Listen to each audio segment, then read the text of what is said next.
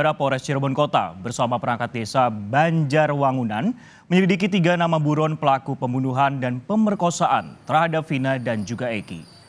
Hasilnya mereka menemukan 25 orang nama yang sama dengan dua pelaku yakni Dani dan Andi. Kecuali Peggy alias Perong yang tidak ditemukan namanya satupun.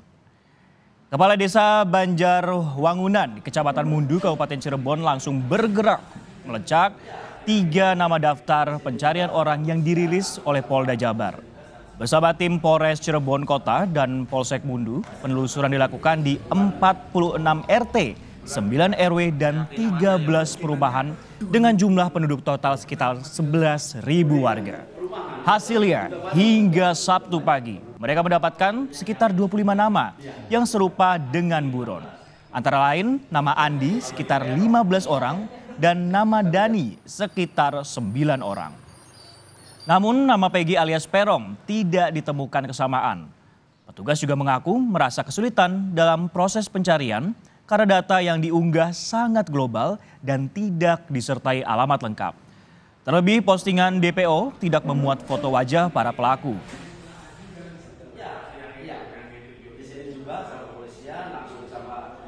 Kemarin langsung kepolisian dari kepolisian bergerak dan mengecek cross check langsung atas nama yang sesuai dengan DPO itu. Salah satu yang pertama itu uh, Peggy, Peggy itu nggak ada uh, cross check di sini. Dan Andi ada nama Andi itu hampir 15 orang dan sudah di cross check tidak ada terbukti bahwa yang sesuai dari DPO itu tidak ada terbukti. Dan yang terakhir Dani Dani di kami ada data 9 orang di data uh, cross check hasil cross check langsung lapangan dan ini apa hasilnya nol juga nggak ada. Informasi terkini kita tanyakan langsung ke jurnalis Kompas TV Muhammad Syari Romdon di Cirebon, Jawa Barat. Syari, selamat siang. Setelah menemukan setidaknya 25 nama yang sama dengan dua buron, apakah ada kesesuaian dengan ciri-ciri DPO yang dirilis oleh Polda Jabar di sana? Ya, baik Francisco di studio dan juga saudara selamat siang bahwa memang setelah kasus ini kembali mencuat ke publik dan Polda Jawa Barat telah merilis tiga orang DPO yang dinyatakan sebagai buron pelaku pembunuhan sekaligus ruda paksa terhadap Vina dan juga Eki masih terus dilakukan pencarian baik dari pihak kepolisian dan juga pemerintah desa karena ada alamat yang menyebutkan bahwa ketiganya sempat tinggal di Desa Banjarwangunan, Kecamatan Mundu, Kabupaten Cirebon. Dan kami sejak awal memang pada hari Selasa setelah diposting kemudian kami menemui perangkat desa setempat. Dan juga saat ini kami kembali menginformasikan menanyakan uh, bagaimana proses uh, pendalaman pencarian dan cross check secara langsung dari pihak kepolisian dan juga pihak perangkat desa terkait dua beberapa orang yang memang memiliki nama kesamaan terhadap tiga nama buron tersebut. Yakni yang pertama adalah Perong alias Peggy alias Perong maksud kami dan yang kedua adalah Dani dan yang ketiga adalah Andi. Hasilnya sejak Selasa kemarin atau Selasa kemarin hingga Sabtu hari ini atau sekitar 4 sampai 5 hari petugas menemukan ada 25 nama yang dinyatakan sama dengan nama buron tersebut. Ke-25 ini langsung dilakukan pencarian secara langsung satu persatu ke rumah nama-nama tersebut, yakni Dani, atau Andi sebanyak 15 orang dan Dani sekitar 9 atau 10 orang. Jadi sekitar ada 25 orang. Sedangkan satu nama yang bernama Peggy alias Perong itu tidak diketemukan sama sekali.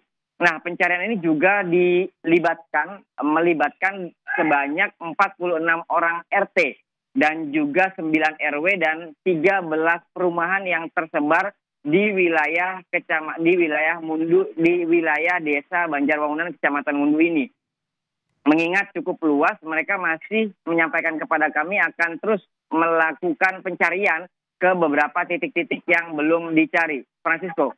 Baik, uh, Syari, kalau jika tidak ditemukan kesesuaian dengan ciri-ciri DPO, apa kemudian langkah selanjutnya yang akan dilakukan polisi? Karena ini ada 25 orang, sedangkan satu orang ini yang Perong atau Pegi ini masih belum ditemukan ada nama yang serupa. Bagaimana kemudian langkah kepolisian? Kalau dari pihak pemerintah desa menyampaikan kepada kami juga mereka akan berkonsultasi dengan pihak kecamatan Mundu.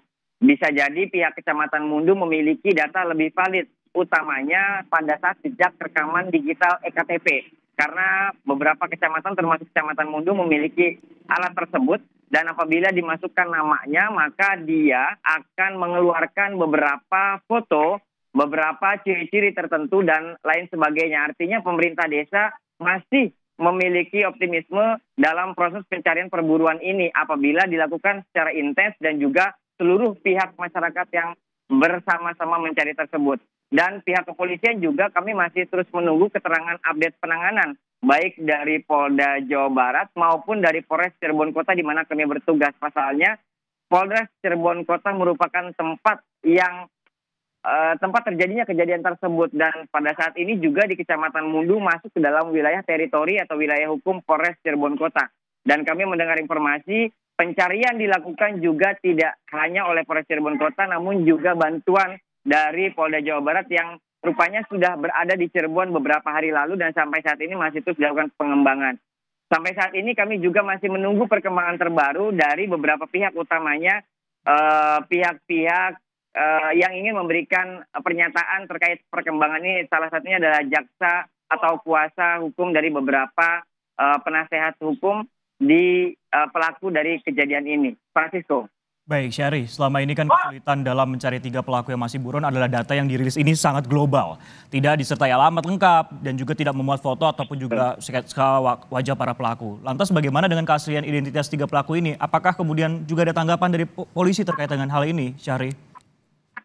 Uh, pasca diinformasikan oleh Polda Jawa Barat terkait tiga buron tersebut, uh, sampai saat ini pihak kepolisian belum menambah akan banyak perkembangan terkait ciri-ciri kemudian clue-clue yang betul-betul bisa mengarah atau identik dengan tiga orang tersebut. Mengingat uh, sesuai dengan fakta yang disampaikan oleh pemerintah desa Banjarwangunan bahwa pencarian tetap dilakukan namun sangat sekali kesulitan karena mereka tidak mendapatkan ciri-ciri yang sangat detil terhadap uh, tiga buron tersebut. Salah satu contohnya seperti ini kami. Dani eh, Dani salah satu yang ada dari tiga buron tersebut. Dia memang ada nama Dani, namun secara usia berbeda, kemudian secara postur tubuh yang diciri-cirikan, kemudian rambut dan sebagainya itu berbeda. Sehingga akhirnya para pemerintah desa kembali bergeser ke nama Dani lainnya. Begitupun dengan nama Andi yang juga memiliki banyak kemiripan sebanyak 15 orang akhirnya pihak kepolisian perlu memeriksa satu persatu dan juga pemerintah desa memeriksa satu persatu baik dari wajahnya, usianya dan juga rekam jejak digital yang mungkin itu bisa membantu proses penelusuran karena mengingat kasus ini sudah cukup berlarut 8 tahun lamanya dan kini kembali terungkap dan tentu semua tertuju perhatian pada bagaimana proses perburuan tiga buron ini untuk menegakkan keadilan yang selama ini diperjuangkan oleh keluarga Vina dan juga keluarga Eki. Francisco. Baik, tentunya kita akan nantikan bagaimana perburuan dari tiga DPO selama 8 tahun ini. Terima kasih atas laporan Anda Muhammad Syahri Romdon dari Cirebon, Jawa Barat.